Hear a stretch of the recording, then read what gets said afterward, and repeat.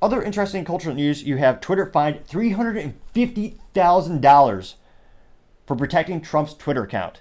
Now, specifically, they were fined for missing a deadline to comply with a search warrant for records related to Donald Trump's account per a newly unsealed opinion. It looks like the district court, uh, district circuit court sanctioned plus rejected Twitter's opposition to a non-disclosure.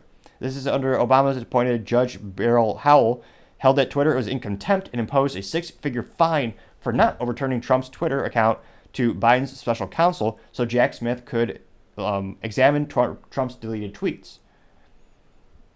Now, that being said, for how much Trump, I can't imagine what's the volume of tweets he deleted.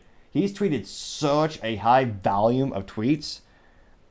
I can't, I can't imagine he deleted any. Don't get, don't get me wrong. He, he might have, but it's funny to think like we thought he tweeted a lot, but it might have even been more than we saw if he deleted some of them.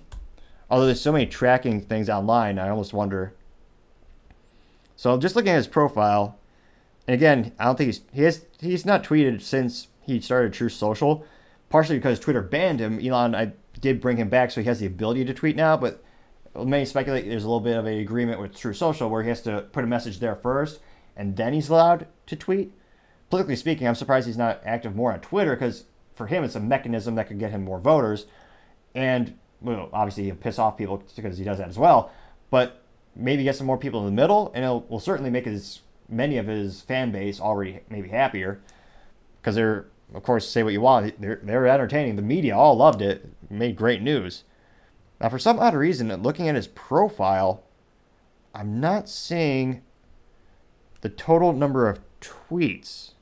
Because if you go to someone's profile i thought it actually would give you that counter and actually tell you exactly how many they had done.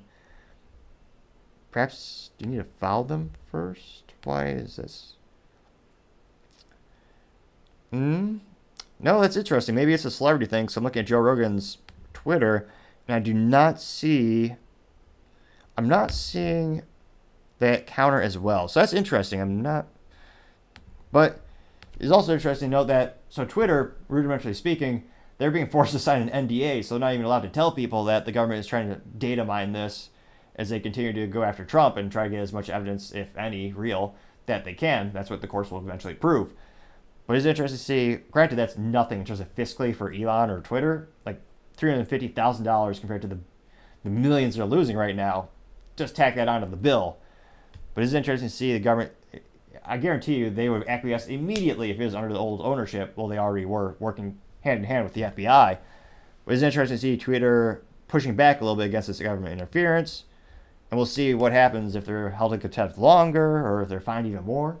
Be interested to see. Time shall tell.